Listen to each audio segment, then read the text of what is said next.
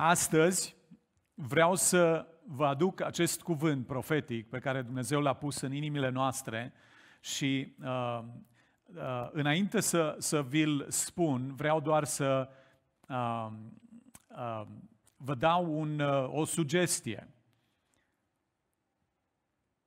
În același fel în care anul puterii sau puterea lui Dumnezeu ne-a însoțit în anul puterii, în același fel ne va însoți și, uh, uh, și în anul 2021 promisiunea lui Dumnezeu. Cum ne-a, cum, ne-a, uh, cum ne-a urmărit sau cum ne-a însoțit? Am ales să ne concentrăm în 2020 pe puterea lui Dumnezeu. Dumnezeu este un Dumnezeu care vrea să lucreze în parteneriat cu omul. El nu vrea să lucreze singur, să, să uh, facă, el ar putea să facă și noi să avem succes sau să avem înțelepciune, să avem resurse, să avem putere, să, avem, uh, să învingem orice circunstanță, dar El vrea să lucreze în parteneriat cu omul. Și în anul 2021, Dumnezeu vrea să rămână la fel, conectat la noi. Dumnezeu, și vreau să, înainte să, să vă spun uh, cuvântul profetic pe care l-a pus Dumnezeu în inima noastră, vreau să, vreau să știți că Dumnezeu nu va face niciodată partea noastră, partea omului. El nu va face partea omului. Dacă primim o promisiune, partea lui este promisiunea și resursele pentru a o împlini. Asta e partea lui Dumnezeu. Dar partea noastră este acțiunea. Noi trebuie să intrăm în acțiune în direcția promisiunii lui Dumnezeu pentru a o vedea împlinită în viața noastră. Așa că dacă ai primit o promisiune, acum nu, nu vorbim, de exemplu, de uh, uh, țara promisă, a fost promisă poporului lui Israel și uh, chiar dacă poporul lui Israel a mers în altă direcție, poporul lui Israel a ajuns, n-au ajuns cei care au primit promisiune acolo. Dar, dar uh, uh, promisiunile lui Dumnezeu au nevoie de parteneriatul nostru pentru a fi împlinite, pentru a, fi, a deveni realitate. Și uh, uh, Duhul Sfânt, deci, vrea să colaboreze cu mine. Vreau să vă invit să spuneți și voi asta. Duhul Sfânt vrea să colaboreze cu mine la fel cum a făcut-o în anul puterii, El o va face în anul 2021 și uh, uh, Duhul Sfânt sau colaborarea mea cu Duhul Sfânt este cheia. Cheia pentru uh, succesul nostru în tot ceea ce vom face în anul 2021. Uh, concentrarea noastră pe cuvântul profetic pe care noi îl primim în fiecare an ne ghidează, ne ajută să, să uh, în funcție de acest cuvânt vom lua noi deciziile în anul 2021 ca biserică, ca familie, individual. În funcție de direcția lui Dumnezeu luăm deciziile în viața noastră, indiferent în ce domeniu. Pentru că știm că în felul acesta vom avea succes și um, cuvântul, profetul, cuvântul profetic pentru anul 2021 este... Sunteți pregătiți? Cuvântul profetic pentru anul 2021 este favoare. Putem să-i dăm slavă lui Dumnezeu. Este 2021, este anul de favoare a lui Dumnezeu pentru Biserica Creștină Noua Generație.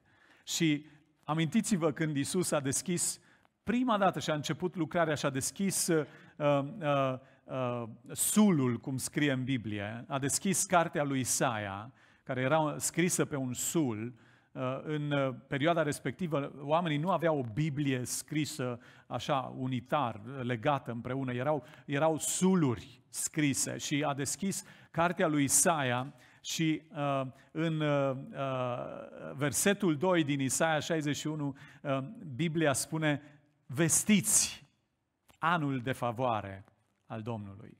Și asta e, asta e ceea ce ne-a vorbit Dumnezeu, să vestim că 2021 este anul de favoare al Domnului.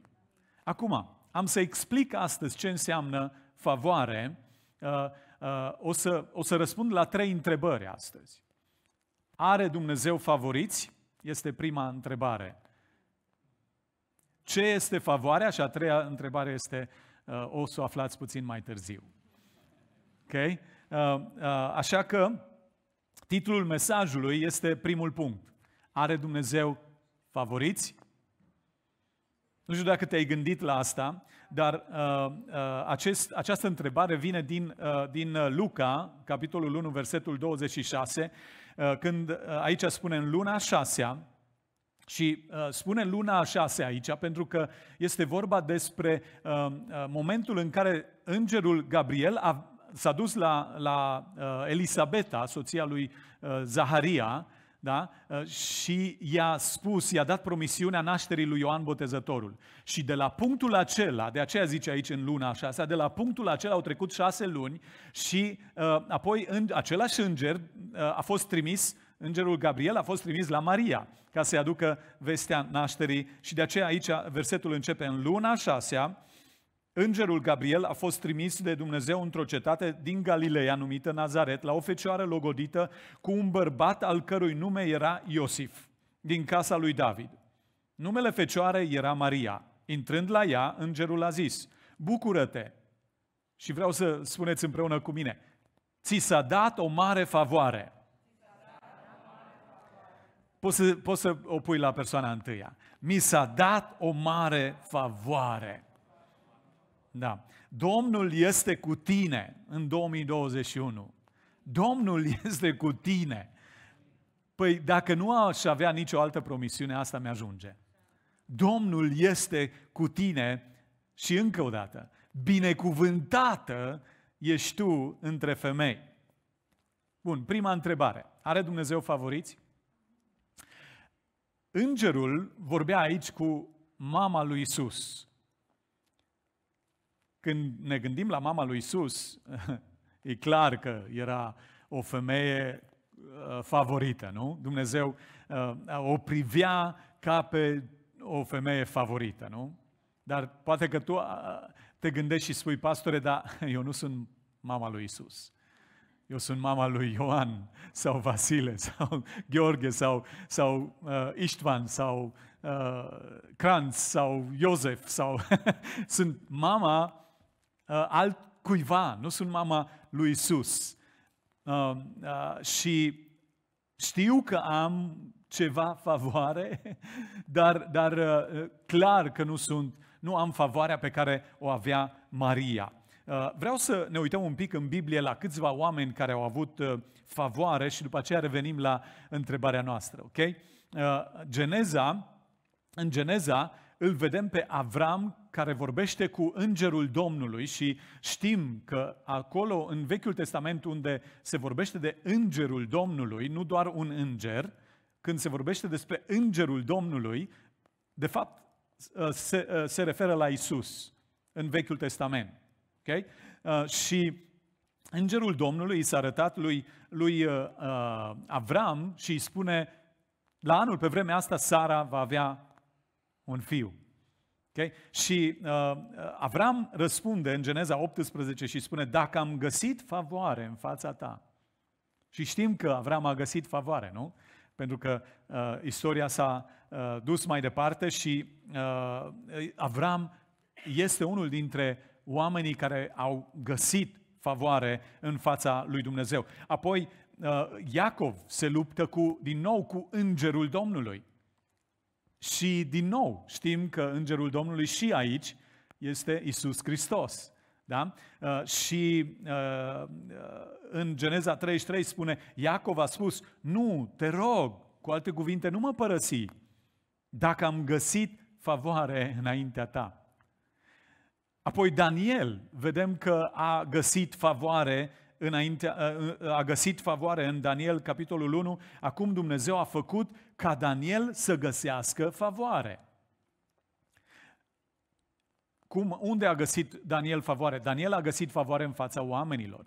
Dumnezeu a făcut ca Daniel să aibă favoare în fața oamenilor. Deci avem favoare înaintea lui Dumnezeu, avem favoare înaintea oamenilor și Biblia continuă și ne spune despre Rut că a găsit favoare, ne spune despre Stera că a găsit favoare, ne spune despre uh, uh, Ana că a avut favoare, Ana care era mama lui uh, Samuel, a găsit favoare înaintea lui Dumnezeu. Dar din nou probabil că tu te gândești și spui, eu nu sunt nici Avram, nu sunt nici uh, Daniel, nu sunt nici uh, uh, Estera, nu sunt nici Iacov, nu sunt, și, și clar că nu sunt Maria, deci asta am stabilit. Nu sunt nici Maria. Da, și, și întrebarea este, are Dumnezeu favoriți? Haideți să vedem ce aveau toți oamenii ăștia în comun. Ce aveau în comun toți oamenii ăștia? Erau copiii lui Dumnezeu. Toți oamenii ăștia. Ești tu un copil al lui Dumnezeu? Dacă ești copil al lui Dumnezeu, înseamnă că ești favoritul lui. Ești favori... Înseamnă că ești favoritul lui Dumnezeu. Înseamnă că ai mare favoare. Asta, asta spune Biblia și, uh, și uh, cred că fiecare dintre noi, dacă ne punem întrebarea aceasta, are Dumnezeu favoriți? Răspunsul este da. Dumnezeu are favoriți. Un uh, tată încerca să îl ajute pe fiul lui să, să uh, învețe să citească, uh, să, uh, pardon, să socotească și uh, uh, să învețe numerele mai degrabă. Și uh, avea o, o foaie, uh, o coală de hârtie uh, și pe coala respectivă erau desenați mai mulți uh, copaci.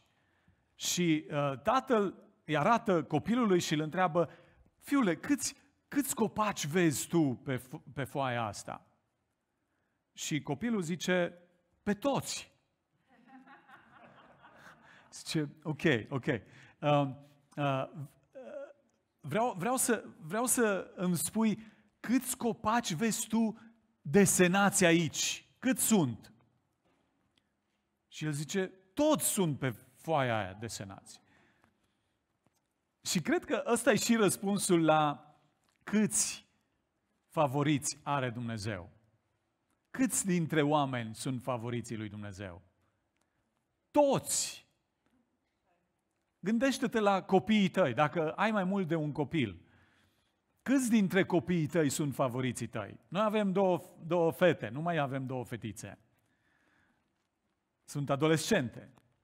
Uh, uh, și dacă mă întrebați care, care dintre ele este favorita lui tati? Amândouă. Amândouă. Amândouă sunt favoritele mele. Bine, acum uh, sunt momente în care nu vorbim de partea aia. Amândouă sunt favoritele, uh, favoritele mele. Uh, și uh, cred că la fel este și când vorbim despre copiii lui Dumnezeu. Câți dintre copiii lui Dumnezeu sunt favoriții lui? Toți. Amin? Vreau să-i dai slavă lui Dumnezeu că ești favorit al lui Dumnezeu. Um, al doilea, al doilea, a doua întrebare. Ce este favoarea? Pentru că dacă știm că suntem favoriții lui Dumnezeu, vrem să știm ce este favoarea, nu? Ce înseamnă? Ce înseamnă favoare? Și uh, dacă uh, favoarea lui Dumnezeu este peste noi, atunci uh, vrem să vrem să vedem uh, cum se manifestă. În uh, Luca 1, îngerul i-a zis, nu te teme, Maria, că ai găsit, și o să ne întoarcem la cuvântul acesta găsit, că ai găsit favoare înaintea lui Dumnezeu. Um, favoare. Ce, ce înseamnă să ai favoare sau ce înseamnă favoare acest cuvânt? Din limba greacă, acest cuvânt favoare, uh, o să, o să vă spun cuvântul uh, din limba greacă și apoi o să-l spun în limba română, dar, dar foarte mulți dintre voi deja știți cuvântul acesta în limba română, știți ce înseamnă, uh, dar vreau să, vreau să, îl, să, uh, să vi-l spun. Cuvântul din limba greacă pentru favoare se pronunță caris, caris, care uh, în românește sau carismaton, care în românește se traduce în cele mai multe locuri din Biblie, se traduce cu har. Har. Carismaton sau darurile Duhului. Darurile Harului. Așa că caris înseamnă har. Acest cuvânt, practic, este scris în Noul Testament de 150 de ori și de foarte puține ori este tradus cu favoare. Foarte puține ori. Uh, sensul cuvântului în uh, uh, Luca 1 este favoare. Este în limba română, este tradus cu har. Și um, uh, este de foarte multe ori îl găsim în Biblie. Voi ați fost salvați cum? Prin har. Voi ați fost salvați prin har și uh, uh, uh, este harul lui Dumnezeu care lucrează în voi. Harul lui Dumnezeu lucrează în noi. Aproape de fiecare dată este tradus cu har. Deci cuvântul favoare înseamnă har. Cuvântul favoare înseamnă har. În Geneza 6, Biblia spune, dar Noe a găsit har în ochii Domnului. Același lucru l-a găsit Noe. Același, uh, același har pe care l-a găsit Maria, l-a găsit și Noe. A găsit har. Același lucru pe care l-a găsit Noe și Maria, l-a găsit Iacov. Același lucru pe care l-a găsit Maria, Noe și Iacov, l-ai găsit tu. Dacă ai fost salvat, dacă ai fost salvat, dacă l-ai întâlnit pe Iisus Hristos ca salvator personal, i-ai predat voința ta lui Dumnezeu, ai găsit har, a, a, ai devenit copil al lui Dumnezeu, ai găsit favoare. Și Maria a găsit favoare, a găsit har. Și vreau să vorbesc un pic cum găsim har. Cum găsim favoarea lui Dumnezeu? Sau cum îl primim odată ce l-am găsit? Important, nu? Important să, să știm răspunsul la aceste întrebări. Efeseni, capitolul 2, spune că prin har ați fost mântuiți prin credință. Putem să spunem versetul ăsta împreună. Căci prin har ați fost mântuiți prin credință. Deci cum găsim harul? Prin credință. Este foarte simplu. Harul îl găsim prin credință. Cum găsim favoarea? Prin credință. Cum găsim favoare pentru anul 2021? Prin credință. Noi găsim favoarea atunci când treci prin dificultăți, când uh, ai uh, probleme, când ai uh, necazuri, când ai neînțelegeri, când ai uh, neclarități, găsești favoare. Vreau să, vreau să mă auzi. Găsești favoare prin credință. Găsești favoare prin credință. Cum a găsit Maria favoare? Prin credință. Uh, ea a crezut ceea ce i-a spus îngerul. Este. Chiar, chiar dacă era virgină, ea a, și nu a avut nicio relație cu un bărbat, ea a spus, cred, Doamne, facă-mi se după cuvântul tău. Asta înseamnă credință și ea a găsit har în momentul în care a crezut. A găsit har în momentul în care a crezut și asta e valabil pentru salvare.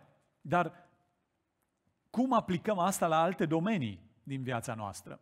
E valabil pentru salvare. Uh, cred că um, când se întâmplă să treci prin momentele dificile din viața ta, uh, ai nevoie să alegi să crezi că Dumnezeu ți-a dat favoare, har, ți-a dat resursele ca să depășești acea situație dificilă, ți-a dat înțelepciunea necesară Chiar și prin uh, circumstanțele astea și momentele astea în care noi trecem prin COVID, uh, crezi că Dumnezeu face ca toate lucrurile să funcționeze pentru binele tău, pentru că Dumnezeu ne-a promis asta. Ne-a promis, este? Ne spune în Biblie că El pentru cei care îl iubesc pe Dumnezeu, va face ca toate lucrurile să funcționeze pentru binele lor. Indiferent prin ce trecem.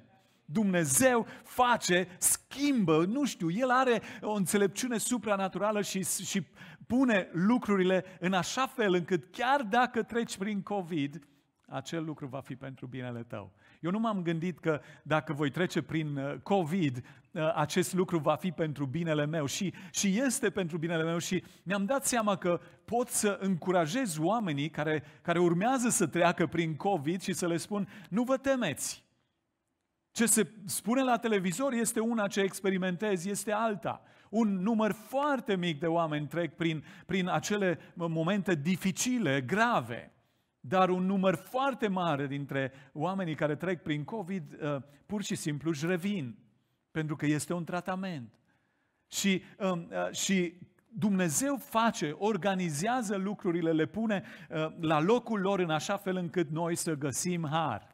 Acum, cum găsim harul ăsta? Harul uh, pentru Maria. Uh, harul a fost, a apărut dintr-o dată în, în calea Mariei? Sau harul a fost totdeauna în fața ei? Ce, ce părere aveți? Harul a fost tot timpul acolo. Doar că ăla a fost momentul în care Maria l-a găsit. Este? Harul a, a, a apărut dintr-o dată în calea lui Iov? Nu, harul efectiv a, l-a găsit Iov, a găsit Iov harul în momentul în care a ajuns în punctul respectiv. Pentru că harul nu fluctuează când, când uh, este, când nu este, când e sus, când e jos. Harul lui este prezent. Noi trăim vrem de har. Noi trăim în harul lui Dumnezeu și, uh, și noi îl găsim prin credință, când credem ceea ce ne spune cuvântul lui Dumnezeu. Pentru că, pentru că ceea ce a vorbit Dumnezeu în vechime a devenit cuvântul lui Dumnezeu pentru noi în prezent. Și când noi alegem să credem ce scrie în Biblie, pentru noi, când alegem să credem ce scrie în Biblie pentru noi, atunci noi găsim harul. Noi găsim harul pentru circunstanțe. Biblia e plină cu promisiuni ale lui Dumnezeu pentru orice circunstanță prin care omul ar putea trece. Sunt peste 8.000 de promisiuni în Biblie. Alege câte o promisiune pentru fiecare circunstanță din viața ta. Și cred-o, cum a crezut-o Maria. Și spune, eu cred, Doamne, facă-mi se după cum Tu ai zis în cuvântul Tău. Și, și uh, și uh, ce se va întâmpla? Ți se va întâmpla ce îți promite Biblia. Pentru că promisiunea lui Dumnezeu este reală, Dumnezeu este, Isus este real și fiecare promisiune a lui se împlinește. Amin? Când ai crezut, ai primit darul salvării. După ce, după ce ai crezut, ai nevoie să continui să crezi dar nu pentru salvare, pentru că ai primit deja darul salvării. Continui să crezi pentru darul sfințirii, pentru că sfințirea este un proces. Și fiecare dintre noi, pe parcursul vieții noastre, până când vom pleca de pe acest pământ, avem nevoie să continuăm să credem în Dumnezeu pentru darul sfințirii și în momentul în care mergem la Tatăl, atunci vom fi perfecți ca Isus. Caracterul lui Isus Hristos se imprimă în viața noastră când noi continuăm să credem, pentru că unii oameni aleg să creadă în Isus și după aceea se opresc acolo. Nu mai continuă să creadă în Isus până la sfârșitul vieții lor. Uh, uh, și când vorbim despre a crede, uh, sensul este profund. Și o să explic în, în uh, partea a treia, în care, uh, sau întrebarea a treia pe care ne-o punem astăzi, pentru că e bine să știm că suntem favoriți, după aceea e bine să știm ce înseamnă favoare, da? Și uh, uh, ce înseamnă să fim favoriți. Adică, adică uh, am văzut că Dumnezeu are favoriți, da? Uh, după aceea am văzut că uh, ce este favoare? Favoare este har.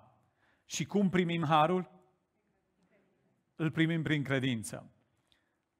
Dacă știm că suntem favoriți, știm că har înseamnă favoare și că primim favoarea prin credință, atunci mai avem nevoie să, să găsim răspunsul la o întrebare. Ce este credința? Ce este credința? Luca 1 cu 38, Maria a zis, iată-mă, sunt roaba Domnului. Vedeți cum răspunde Maria? Facă-mi se după cuvântul tău.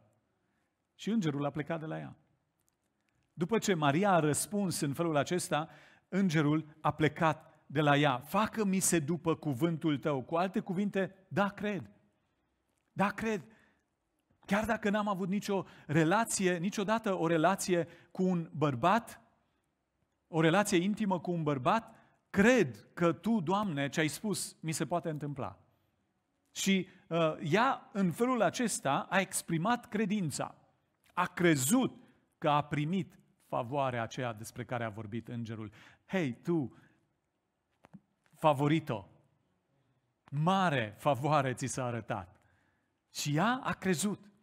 Când, când a exprimat acea credință, îngerul s-a dus înapoi. S-a dus pentru că îngerul este un mesager al lui Dumnezeu. Și uh, în uh, 1859, uh, Charles Blondin s-a dus în America, a întins o, uh, uh, o sârmă peste cascada Niagara și a traversat-o. Odată a uh, traversat pe acea sârmă cu un scaun și la mijloc s-a oprit și s-a așezat pe, pe scaun. O, o altă dată a, tra- a traversat pe acea sârmă fără nicio plasă de siguranță de desubt. A traversat cu un sac în spate. Altă dată a traversat pe acea sârmă uh, legat la ochi. Și acolo se spune că erau aproximativ 100 de mii de oameni care îl priveau. Nu, nu i-a numărat nimeni, dar, dar uh, se estimează că erau aproximativ 100 de mii de oameni care îl urmăreau și îl aplaudau și ziceau, ei, super! Și uh, la un moment dat, uh, uh, Blondin se adresează acestor oameni și, și le spune, câți dintre voi credeți că, că pot să duc un om în spate, dincolo și, și să-l aduc înapoi? Și toată lumea a zis, eu cred, eu cred. Și uh, după aceea Blondin a zis, cine vrea să fie omul acela? Toată lumea a lăsat mâna repede jos. Dar un om dintre aceia a ieșit, s-a urcat în spatele lui și el a traversat cascada Niagara. Asta e, asta e poza. Asta e poza din uh, uh, momentul acela în care Blondin, Charles Blondin, traversează Niagara cu un om în spate. Acum, ce vreau să vă spun? Toți au crezut. Dar numai unul a crezut. Este? Pentru că a crede nu este un act mental. A crede presupune o credință a inimii. De fapt, cuvântul a crede în Biblie are sensul de încredere. Îmi pun încrederea în Domnul. Asta înseamnă să crezi. Să crezi nu înseamnă să zici cred. Să crezi înseamnă să acționezi conform a ceea ce zici, cred.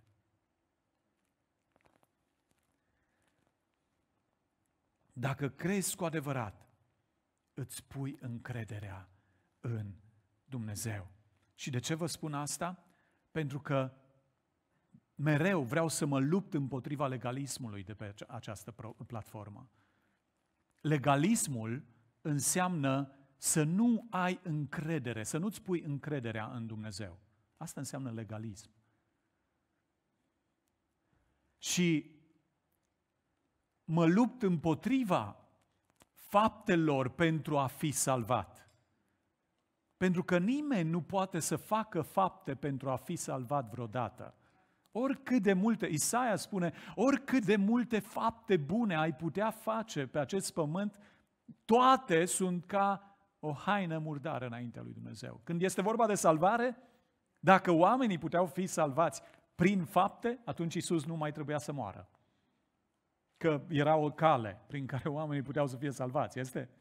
Dar, dar pentru că Dumnezeu a știut că oamenii nu pot fi vreodată salvați prin fapte, l-a trimis în lumea noastră pe Isus Hristos, pe Fiul Său, ca să moară în locul nostru, plătind pentru păcatele noastre, pentru ca oricine crede în El, în Isus Hristos, să nu moară, să nu piară, ci să aibă viață veșnică.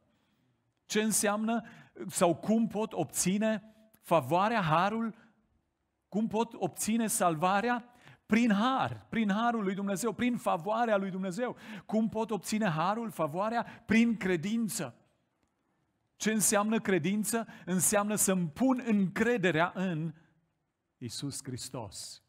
Să-mi pun încrederea, adică să mă abandonez. Uh, pune-te rog din nou imaginea, să mă abandonez în mâna lui Isus Hristos, să mă urc pe spatele lui Isus Hristos în timp ce El mă traversează viața aceasta care, care, uh, pre, care uh, prezintă multe pericole, care, care uh, prezintă multe, multe necunoscute.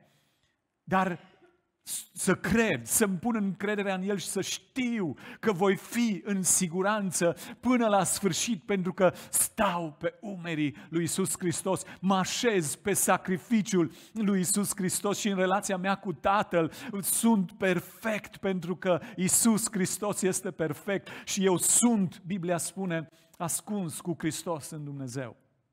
E extraordinar. Asta înseamnă să ai să, și, și vreau să intrăm în anul favoare, de favoare. Vreau să intrăm în anul de favoare, înțelegând ce înseamnă favoare, să știm că suntem favoriți și să știm că noi, atunci când credem, ne punem încrederea în Isus Hristos. Și uh, noi nu putem să avem încredere în ceea ce facem noi. Facem lucruri, facem lucruri bune, facem fapte bune și am văzut și știm cu toții că facem, dar nu le facem pentru a fi salvați, ci pentru că am fost salvați. Amin? De aceea facem faptele bune. Uh, cel mai bun mod de viață este să ne punem încrederea totală în Isus Hristos, uh, ca și uh, persoana aceea care a ales să își pună încrederea în, uh, într-un om care, care efectiv a văzut că poate să facă lucruri, dar noi ne putem pune încrederea în Fiul lui Dumnezeu care a venit și ne-a arătat că El poate să trăiască o viață uh, perfectă, poate să uh, învie din morți, poate să se înalțe la cer și uh, va împlini toate promisiunile, cele peste 8.000 de promisiuni din Biblie pentru tine și pentru mine. Amin? Așa că are Dumnezeu favoriți? Pe câți? Pe toți. Um, ce înseamnă să ai favoare? Înseamnă să ai har. Cum putem obține harul? Prin credință. Ce înseamnă credință? Să ai încredere, să-ți pui încrederea în Domnul. Dragii mei, anul de favoare este după colț la doar trei zile distanță. Haideți să ne pregătim inimile, să intrăm în acest an Îi mulțumim pastorului Marin Bloș pentru acest mesaj. Ne bucurăm că urmărești canalul de YouTube al Bisericii Creștine Noua Generație, dar nu te opri aici. Intră și tu în familie, în familia noastră online extinsă. Alătură-te live în fiecare duminică și abonează-te la canal pentru a nu rata niciun video sau vreo transmisie live și împărtășește-le și cu prietenii tăi. Îți mulțumim că ne urmărești și fii binecuvântat!